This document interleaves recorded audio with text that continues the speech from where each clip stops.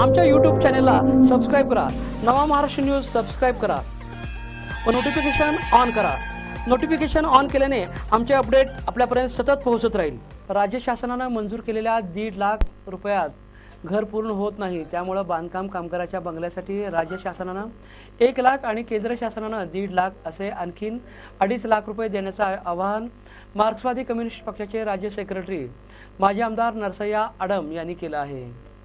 लालबावटा कामगार संघटनेच्या वतीनं आयोजित बांधकाम कामगारांच्या घरकुल हक्क परिषदेमध्ये ते बोलत होते. अध्यक्षस्थानी विजय कांबळे होते. प्रारंभी कुमार कागले यांनी परिषदेचे उद्देश विषेद केला. शिवाजी मखदूम यांनी घर बांधण्यासाठी दीड लाख रुपये अपुरे असल्याने प्रत्येक तालुक्यात जागृती करण्यासाठी परिषद घेतली. त्यामुळे सरकारला आणखीन पन्नास हजार रुपये जाहीर करावे लागले. हा बांधकाम कामगारांचा विजय असल्याचं सांगितलं. यावेळी सदा मलाबादे संदीप सुतार विक्रम खतकर उदय नारकर भाऊसौ कसबे यांनीही आपलं मनोगत व्यक्त केलं. संघटनेचे राज्य कार्याध्यक्ष भरमा कांबळे यांनी घरासाठी दीड लाख रुपये म्हणजे मतासाठी घोषणा आहे. मार्च महिन्यात आचारसंहिता लागणार असल्यानं निवडणुकीपूर्वी एकाही कामगारास घर मिळणार नाही.